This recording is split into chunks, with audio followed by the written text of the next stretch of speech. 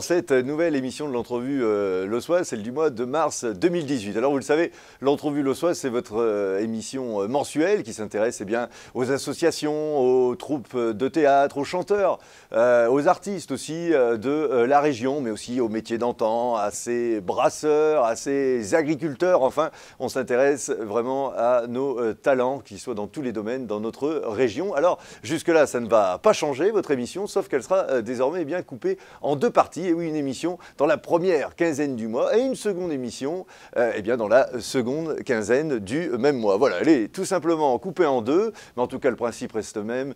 L'objectif est bien euh, s'intéresser à ces événements et surtout à ces excellentes nouvelles euh, que nous avons au sein du euh, bassin minier. Allez, on se dirige tout de suite vers Lens-en-Goël, d'ailleurs pour s'intéresser à l'association Porte Mine, dont l'objectif est clair, le bien vivre ensemble. C'est vrai, qu'est-ce qu'on peut apporter eh bien, en tant que citoyen? Euh, eh bien, il y a plusieurs initiatives et la prochaine, ce sera eh bien, de fabriquer des meubles, voilà, des véritables meubles, mais avec des objets de récupération. Et oui, ces vieilles palettes en bois dont on se dit, tiens, elles ne servent plus à grand-chose, et bien pourquoi pas euh, la transformer en un véritable buffet, guéridon, voire même une table de chevet. En tout cas, c'est l'association Porte-Mine qui s'y intéresse de plus près. Tout ça euh, arrivé sous l'objectif de la caméra de notre journaliste Marcel Moreau. Porte-Mine euh, crée un tiers-lieu, c'est-à-dire un lieu où on va y faire différentes activités, euh, qui est situé dans la maison d'ingénieurs de la cité 12-14, donc euh, sur le territoire de Los-Angoel, mais à la frontière euh, de la ville de Lens. Et l'idée, c'est de créer un lieu de rencontre, d'échange et de partage pour à la fois les gens du territoire, mais aussi dans l'idée de pouvoir accueillir des touristes. Donc euh, ici à Porte-Mine, on va retaper euh, la maison, on a rénové euh, complètement. On va y ouvrir un petit restaurant bio, un café citoyen, bar à vin, bar à bière, bar à jus de fruits, bar à sirop. Et à l'étage de la maison d'ingénieur, ce sera les nouvelles auberges de jeunesse, c'est-à-dire des chambres d'hôtes pas chères, quatre chambres individuelles avec leur propre salle de bain et trois chambres collectives. L'idée, c'est que les bénéfices puissent financer donc à la fois la turbine, qui est l'accompagnement et le développement des projets des autres. Donc, voilà, on a une idée, et ben maintenant on a un lieu où on peut venir euh, concrétiser euh, cette idée en projet et en action en faisant force de réseau. Euh, et en même temps, le chapiteau, donc plutôt sur un- une partie développement culturel. Donc on a un chapiteau de cirque qu'on monte et qu'on démonte. Il a d'ailleurs été notamment monté à Los Angeles sur le Fête Nos, pour ceux qui auraient pu le voir. Et dedans, on organise des moments festifs et conviviaux en coopération avec des citoyens, mais aussi des structures, en tout cas des gens qui ont envie de faire des choses sur le territoire. Donc euh, on travaille sur l'idée d'une boussole, donc c'est aussi dans un tiers-lieu, donc un lieu où on fait plein de choses, de répondre à différents enjeux pour euh, le développement du territoire du bassin minier. Donc le développement durable et le bien vivre alimentaire, le développement touristique, qu'est-ce que l'économie sociale et solidaire et le développement culturel. La maison d'ingénieur est la phase 1 du projet, puisque d'ici fin 2019, on devrait se développer dans l'école des ménagères, où là-bas on va créer des surfaces de coworking, un gîte de groupe et une salle de séminaire, formation, apprentissage, etc. Et donc l'ensemble des bénéfices financeront toujours des projets avec et pour les gens. Donc euh, ici à Porte-Mine, on cherche euh, pas mal de petites ou grandes excuses pour pouvoir euh, aller chercher les gens du territoire et pour pouvoir solliciter un peu leurs envies de ce qu'ils aimeraient faire. Donc ça peut aller d'un concours euh, de pétanque à l'organisation d'un cinéma plein air. On accompagne aussi les jeunes de Los Angeles en partenariat avec la ville et le club de prévention sur l'organisation du contest, donc un rassemblement skate, roller et trottinette. Donc voilà, on essaye vraiment d'aller chercher les initiatives. Donc là, aujourd'hui, euh, on est mardi gras et donc on a fait euh, la petite excuse des petits rendez-vous. Donc les petits rendez-vous, c'est voilà une excuse festive et conviviale. Ça nous permet toujours d'avoir un lien avec à la fois les voisins mais aussi les gens du territoire. Et donc euh, on fait une petite dégustation de crêpes. On crée aussi des ateliers participatifs. Donc on a des ateliers de création de mobilier urbain, donc des grands mobiliers qui seront installés dans les espaces publics. On fait aussi des ateliers customisation et homestaging des futurs meubles de la maison d'ingénieur. Euh, donc voilà, on fait euh, pas mal de choses. Et puis, euh, vous avez pu voir, ou peut-être que vous allez voir après, on a le jardin qui est mis à disposition à une structure qui s'appelle les Anges Gardins, qui ont créé une micro-ferme cocaïne de Goël. Donc, ce sont ces insertions par activité économique. Et ils organisent également un petit marché les mardis après-midi et mercredi toute la journée ici dans la maison d'ingénieur jusqu'à la fermeture des travaux qui devrait euh, démarrer en avril pour pouvoir ouvrir euh, tout ce que je vous ai dit en octobre dans une maison euh, complètement refaite et de manière écologique évidemment. Et donc, il y a toujours quelqu'un euh, ici à la maison des ingénieurs Alors, en tout cas, on s'arrange pour qu'il y ait effectivement toujours quelqu'un. Le temps des travaux, on aura un bureau rue Cook, donc au 1 rue Cook, euh, donc ici au cœur du quartier pour toujours garder effectivement euh, le lien avec les habitants. Et puis ensuite, quand on ouvrira le lieu, et ben là, on aura des créneaux d'ouverture de 7h du matin à 23h le soir, donc de quoi venir nous voir. Et donc on peut, enfin, enfin, même pas, comment Alors en tout cas pour nous trouver, alors on a un Facebook euh, qui est porte mine, un numéro de téléphone aussi, on peut nous joindre 09 72 60 14 68 et une adresse mail qui est accueil-porte-mine.com. Mais avec une cotisation, on peut, faire partie de, l'association Tout à fait, c'est ça. Donc la cotisation, c'est 2 euros pour les individuels, 5 euros pour la famille. Donc ça, c'est la cotisation minimum. Après, les gens peuvent évidemment donner ce qu'ils veulent. Et puis, on a certains ateliers où on crée aussi une monnaie complémentaire, la COP-COP.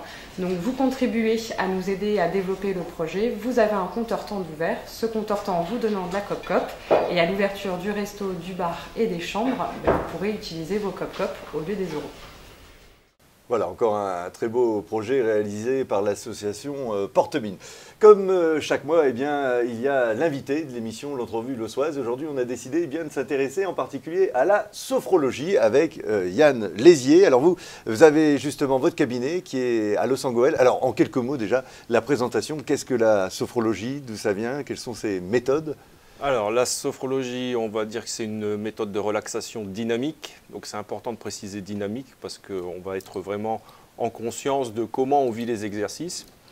Euh, quand on parle de relaxation, il faut vraiment revenir euh, à la base du mot relaxation. Il y a beaucoup de gens qui pensent que ça va être ah, je vais me détendre. Oui, bon, il y a souvent le phénomène de détente qui s'installe, mhm. mais c'est surtout dans le sens où il y a quelque chose qui va se libérer, il y a quelque chose qui va pouvoir se soulager au travers du corps, il va y avoir aussi une prise de conscience euh, au niveau du mental, ce qui va faire que la personne progressivement, à force de répéter certains exercices, on pourra éventuellement en parler un peu après, Bien sûr. Euh, les personnes vont pouvoir se reconnecter à des capacités, à, prendre conscience qu'elles peuvent se vivre différemment de ce qu'elles ont l'habitude de se vivre habituellement, surtout pour des personnes qui peuvent avoir des douleurs ou des souffrances psychologiques. D'accord, oui, c'est autant euh, finalement euh, physique aussi, parfois que psychologique. Vous parlez un peu d'un phénomène de libération, libération de soi, qui est une libération qui est à la fois soit sur le plan mental, soit aussi sur le plan physique, avec des douleurs, et ça toujours au travers donc d'exercices. Voilà. Donc euh, alors on, parle, il n'y a pas vraiment d'exercice miracle pour une personne qui va dire voilà j'ai tel problème, on ne va pas être avec un livre de recettes, on va dire c'est ça qu'il faut faire et puis mhm. euh, voilà.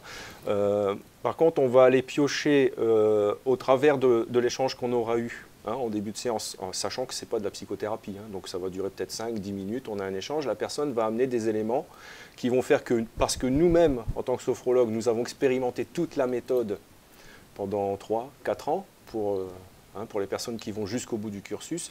Alors à ce moment-là, il y a tout ce vécu personnel qui vient alimenter euh, les exercices qui vont être mis en place après. Euh, de façon à ce que ça soit adapté à la personne et qu'elle puisse se l'approprier le mieux possible. Alors, dans les exercices, il va y avoir quoi? Euh, Ça va être recentrer son attention sur l'instant présent. Mhm. Parce que bien souvent, les personnes qui ne qui sont pas bien dans leur tête, c'est parce qu'elles sont encore avec des événements du passé qui sont encore traumatisants, ou elles n'arrivent pas à faire certains deuils. Qui sont peut-être parfois inconscients aussi. Voilà, oui, mhm. ça aussi. Alors ça, par contre, c'est un autre domaine de la, de la sophro. La sophro, on est vraiment sur la conscience en termes de ce qui est vivant ici et maintenant. D'accord. Hein? Euh, puis il y a des personnes qui mentalement sont peut-être trop en train de faire des projections négatives sur le futur avec des peurs anticipatoires. Euh. Mhm. Donc on va vraiment avoir des exercices qui vont faire en sorte que la personne, d'une manière euh, la plus simple possible, puisse se recentrer sur l'instant présent, ici et maintenant, et on va passer par le corps. Comment on va faire pour passer par le corps? Ben Là, on pourrait faire un exercice tout simple, hein, tel qu'on est installé là tous les deux. On peut sentir le bord, par exemple. Exactement, oui. Voilà, on peut le sentir. Euh, euh, je peux très bien sentir, euh, quand je bouge un peu mes bras, le contact de mes vêtements sur ma peau. Voilà, tout ça, ça permet de revenir à des sensations corporelles qui vont faire que je vais être ici et maintenant avec mon corps. Si mon attention, elle est ici, comme j'ai qu'un seul cerveau, je ne peux pas penser à autre chose. Voilà, Donc, on est déjà en train de mettre en place de la gestion du stress, de la gestion des émotions. Oui, évidemment. Donc c'est vraiment une concentration sur soi. Et, c'est aussi peut-être avec euh, des techniques respiratoires, d'une façon aussi, oui, ça joue? Alors il y a les techniques de respiration, on peut les utiliser vraiment euh, telles quelles. Mhm. C'est-à-dire juste activer la respiration pour dire de se faire plaisir à activer la respiration. Mhm. Euh, ce qui est important aussi, c'est d'activer certaines techniques de respiration en rajoutant des intentions dessus. Ce qui fait qu'on peut très bien, euh, par exemple sur une, respiration un peu plus ample, être dans l'intention d'activer de l'agréable au travers du corps ou au travers d'une partie du corps. D'accord. Euh, on peut très bien, au travers d'une technique de respiration, être dans l'intention d'activer une compétence, une capacité. Et puis parce que la sophro a été construite là-dessus aussi, et à partir de ça, se reconnecter aussi à des valeurs. Mmh. Hein? Tiens, ça, ça a de la valeur pour moi dans, mon existence. Tiens, comment je peux, euh, avec une technique de respiration, bon là, je fais, je fais court hein, dans la mise en, application, c'est un peu plus élaboré. Comprend, bien sûr, hein euh, et ça va être de, voilà, comment je peux essayer d'amplifier un peu euh, la présence de cette valeur à l'intérieur de moi que je porte, mais qui va aussi pouvoir me porter dans ma vie de tous les jours. Et là, je viens de m'en rendre compte en le faisant, j'ai fait ce geste-là. Parce qu'au départ, le travail de la sophro, c'est je travaille vraiment avec moi-même, pour moi-même, mais il ne faut pas croire que c'est égoïste pour autant. C'est tout l'inverse. Mm. C'est parce qu'avant de pouvoir être dans une relation avec les autres, en espérant qu'elle soit la plus harmonieuse possible, il faut déjà que ça, je puisse le travailler intérieurement et le réveiller. Donc c'est vraiment tout un travail avec des techniques de recentrage, il, peut y avoir la respiration. Il y a des techniques aussi où on peut se rappeler des moments du passé et se réapproprier ici et maintenant tous les bienfaits que ça a pu avoir à ce moment-là. Il peut y avoir des techniques où on va s'imaginer, se projeter positivement dans le futur. Donc, ce qui amène à un champ d'application qui est très, qui, vaste. Est, qui, est, vraiment très large. Et, justement, on peut même vous considérer, en fait, euh, puisque il y a quand même la grosse part du travail qui est, qui est sur soi, vous êtes en fait en quelque sorte une sorte d'accompagnateur Oui, alors c'est le terme que je préfère. Ah, voilà. Si on me dit, euh, ah, euh, tiens, voilà, Yann Lézier, euh, sophrologue, bon, oui, ok, il faut, faut, bien mettre un nom parce que j'ai suivi une formation. Bien sûr. Mais surtout, je suis là pour animer une séance de sophrologie adaptée à la personne pour qu'elle puisse avancer à son rythme, euh, donc, il ne faut pas aller trop vite, parce que sinon, euh, c'est moi qui cherche à la faire aller vite et la personne n'est pas forcément prête à aller vite. Elle peut se braquer aussi. Il ne faut pas que je la fasse aller trop doucement, parce que euh, sinon, elle risque de se lasser, et puis c'est pas éthique. Donc, je suis là pour l'accompagner à son rythme. S'il y a déjà des compétences qui ont été activées, que ce soit au travers de la sophro, ou il y en a par exemple sur le Sangwell qui travaille en méditation, voilà, c'est tout ce qui est déjà là, qui est présent, comment la personne va pouvoir le valoriser encore plus. Et moi, là-dedans, comme je dis souvent, c'est pas moi qui travaille. Hein. Mhm. C'est vous qui venez en rendez-vous, c'est vous qui travaillez. moi, j'accompagne. Et ça, permet aussi d'éviter les liens de dépendance avec le sophrologue.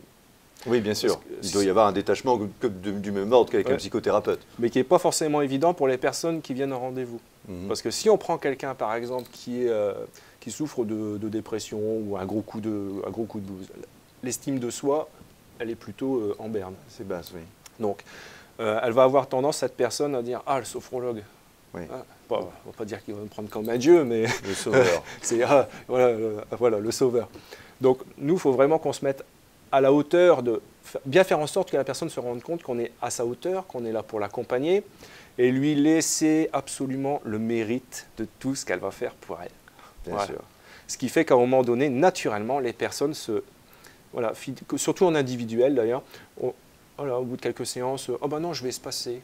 Ou puis à un moment donné, oh ben non, j'en ai assez. Donc ça, j'ai envie de dire, c'est la plus belle récompense. Voilà, évidemment, pour vous. Mais justement, vous parlez énormément du coup du développement personnel, du développement euh, de soi. Et euh, tout à l'heure, on discutait aussi, bien sûr, euh, hors antenne. Et vous avez une passion particulière, c'est le théâtre? Oui, alors bon, on peut dire passion. Je, préfère le mot plaisir parce que dans le mot passion, il y a un côté un peu.